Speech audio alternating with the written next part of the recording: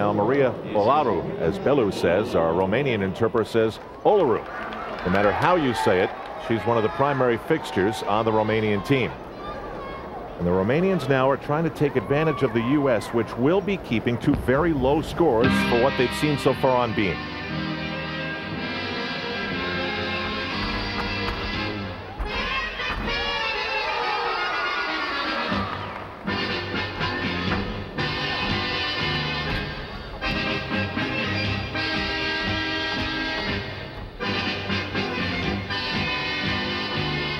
No question, one of her strongest events. She was second at the American Cup, one of few athletes that had a start value of 10.0 on this event.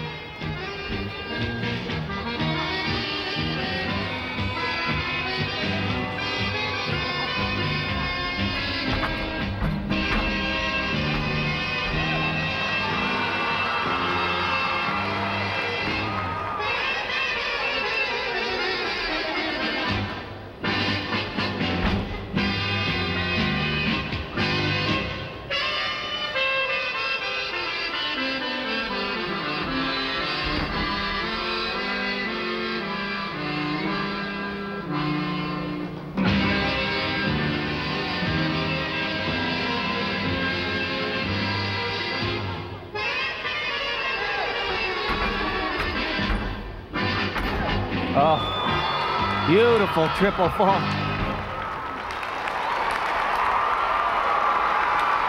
Wow. Incredible dismount at the end there. Legs, such good form and completely gets the twist all the way around. That was great finish.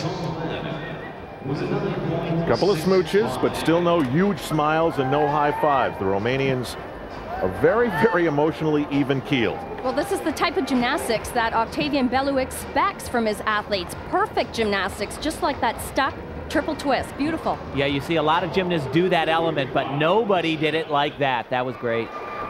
Sorry.